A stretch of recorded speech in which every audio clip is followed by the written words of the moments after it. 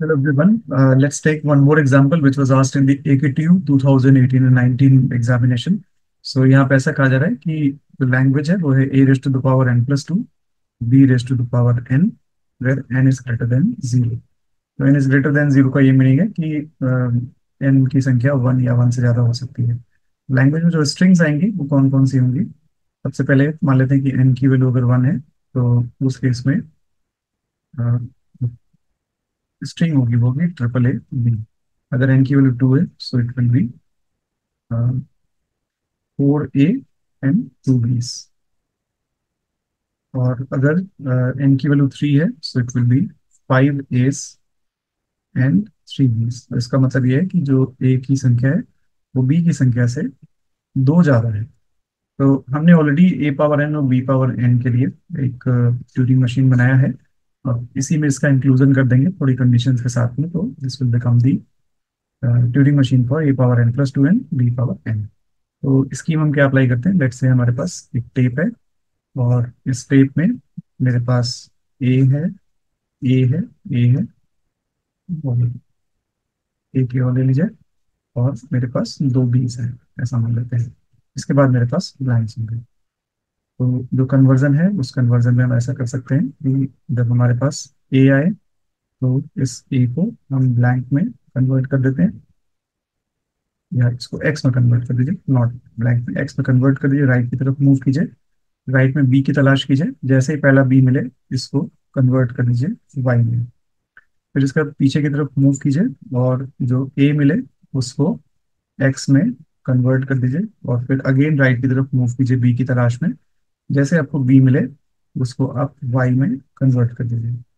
फिर इसके बाद पीछे आइए और एक ए देखिए, जो बी मिले आपको, उसको आप एक्स में कन्वर्ट कर दीजिए और आगे जाइए और बी की तलाश में जाइए। अगर बी आपको नहीं मिल रहे हैं, अगर आपको बी नहीं मिल रहे हैं और ब्लैंक मिल रहा है वाई के ठीक बाद तो इस प्रोसेस को वहाँ से ब्रेक करके पीछे की तरफ़ आइए और पीछे की तरफ़ आके देख लीजिए कि अगर सिंगल ए ही आपके पास अब बचा हुआ है तो इसका मतलब क्या है कि ये A power N plus two और बी पावर एन को डिनोट करता है। तो इसी सीक्वेंस को हम, हम टेप में लेके दोबारा से करेंगे। यहाँ पे हमने सिंगल ए के बचने पे क्यों ऐसी बात कही? क्योंकि हमने एक ए को चेंज कर दिया था एक्स में जो कि रिक्वायर्ड नहीं था क्योंकि उसके कोरस्पॉन्डिंग हमें बी नहीं मिल रहा। इसे हमने कहा कि एंड में केवल ए और बचना चाहिए उनके पास। तो ये मेरा टेप है और इस टेप में यहाँ पे अभी कंट्रोलर है मेरा। So let's design the Turing machine so I am at the Q zero state और मुझे स्मॉल ए मिलता है।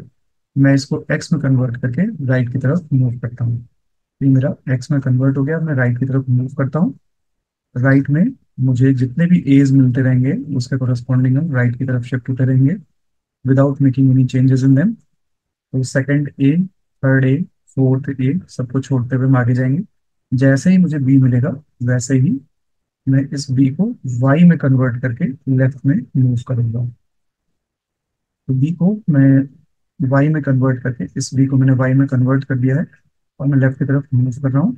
लेफ़्ट से मैं क्यू टू स्टेट में हूँ। लेफ़्ट में मुझे बहुत सारे एज मिलेंगे, उनको मैं छोड़ते छोड़ते लेफ़्ट में आऊँगे। तो देख सकते हैं कि जब मैंने पहले बी को वाई में कन्वर्ट कर दिया है तो मैं यहाँ मूव किया। ये ए है, मैं पीछे मूव कर गया, ये भी ए है, मैं पीछे मूव कर गया।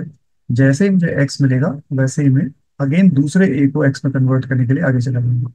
सो मैं एक्स को एक्स छोड़ के राइट की तरफ़ आगे जाऊँगा इसके बाद मैंने सेकंड ए को एक्स में कन्वर्ट कर दिया है और राइट की तरफ़ मूव किया है। अभी सेकंड ए के कन्वर्जन के बाद मेरा जो कंट्रोलर होगा, वो थर्ड ए पे होगा। इस ए को ए छोड़ के मैं राइट की तरफ़ जाऊँगा क्यू वन स्टेट में रहूँगा। ये भी ए है जिसको मैं ए छोड़ के आगे जाऊँगा। आगे मुझे वाई मिलेंगे मैं वाई को भी छोड़ के आगे जाऊँगा। सो so, वाई को मैं वाई छोड़ के राइट की तरफ़ आगे मूव करता हूँ। अब मुझे एक बी मिल गया इस बी को मैं वाई में कन्वर्ट कर लेता हूँ। तो जैसे मैं बी को वाई में कन्वर्ट करूँगा मैं लेफ़्ट की तरफ़ मूव करूँगा। लेफ़्ट की तरफ़ मूव करते समय क्योंकि आपने इस बी को वाई में कन्वर्ट किया आपको वाई भी मिलेंगे। इस वाई को वाई में ही छोड़ के आप लेफ़्ट की तरफ़ मूव कीजिएगा। फिर पीछे आपको ए मिलेंगे, उसको ए छोड़ते हुए आप लेफ़्ट की तरफ़ मूव कीजिए। क्यू टू स्टेट में ही है। आप अगेन आपको ए मिला, पीछे की तरफ़ मूव कीजिए। अब आपको एक्स मिल गया। जैसे एक्स आपको मिला एक्स को एक्स छोड़ के आप राइट की तरफ़ मूव कीजिए इसका मतलब आप क्यू ज़ीरो स्टेट में फिर से वापस आ गए। ये मार्केशन में सारे यहाँ से हटा रहा हूँ। केवल चेंज्ड वाले को हम यहाँ पे रखते हैं। और अभी करंट हमारा सिचुएशन ये कि एक्स को एक्स मिला। एक्स मिला मुझे एक्स को एक्स छोड़ के हम राइट की तरफ़ मूव करके मतलब ए पे आए। यूजरो स्टेट में मैं हूँ, इस ए को मैं कन्वर्ट कर दूँगा। एक्स में और राइट की तरफ़ जाऊँगा। राइट की तरफ़ जितने भी ए मुझे मिलेंगे, मैं इसको छोड़ के राइट की तरफ़ जाऊँगा। इसका मतलब कि मैं क्यू वन स्टेट में हूँ। इसके बाद मुझे वाई मिलेंगे, मैं उसको भी छोड़ के आगे जाऊँगा राइट में जाऊँगा। और जितने भी वाई हैं, जब मैं उसको छोड़ते छोड़ते आगे गया अभी मेरे से ये एक्सपेक्टेड था कि मुझे कोई एक स्मॉल बी मिल जाएगा। लेकिन मुझे स्मॉल बी यहाँ पे नहीं मिल रहा है। मुझे डायरेक्टली ब्लैंक मिलेगा। मैं वाई को वाई छोड़ते हुए जब भी आगे जाऊँगा तो मुझे ब्लैंक मिल जाएगा। इस ब्लैंक के मिलने का मतलब ये है कि मैं अभी स्टेट नंबर क्यू वन में हूँ और क्यू वन स्टेट में मुझे एक ब्लैंक मिला है और मैं ब्लैंक को ब्लैंक छोड़ के अब लेफ़्ट में चलता हूँ। ब्लैंक को ब्लैंक छोड़ के मैं लेफ़्ट में चलता हूँ और केवल ये मुझे देखना है कि जितने एज बचने चाहिए, अब उतने ही एज बचे हैं या उससे ज़्यादा एज बचे हैं। सो लेट्स से मैं क्यू थ्री स्टेट में हूँ। ब्लैंक को ब्लैंक छोड़ के मैं लेफ़्ट में आया हूँ डिमार्केशन हटाते हुए, अभी फ़िलहाल में। इस ब्लैंक पे था ब्लैंक को ब्लैंक छोड़ के मैं लेफ़्ट में आया। मुझे वाई मिला। जितने भी वाईज होंगे, मैं इसको छोड़ के पीछे की तरफ़ आऊँगा। फिर इसके बाद वाई मिला, मैं पीछे छोड़ के आऊँगा। ए मिला, मैं इसको भी पीछे छोड़ के आऊँगा। ए ए लेफ़्ट की तरफ़ गया। और इसके बाद मुझे एक्स मिलना चाहिए। जैसे ही मुझे एक्स मिला, मैं इसको एक्स छोड़ के राइट की तरफ़ गया।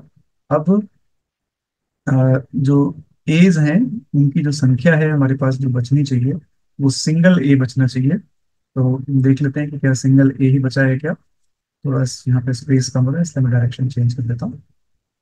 लेट से मेरे पास ए आया सिंगल ए ही आना चाहिए, मैं इसको ए छोड़ के अब राइट की तरफ़ मूव करता हूँ। सिंगल ए के ठीक बात वाई आ जाना चाहिए। तो अगर सिंगल ए के ठीक बात वाई आता है सो मैं उसको वाई ही छोड़ के राइट की तरफ़ चलूँगा और यही मेरा फाइनल स्टेट होगा। सिंगल ए बचने का मतलब ये है कि ए की जो संख्या है बी की संख्या से दो ज़्यादा है।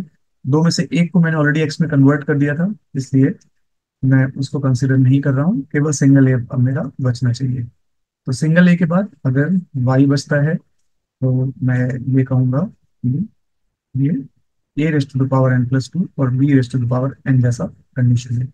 So this is the Turing machine for a raised to the power n plus 2 and b raised to the power n and this question was asked in TKTL 2018-19. Thanks for watching this.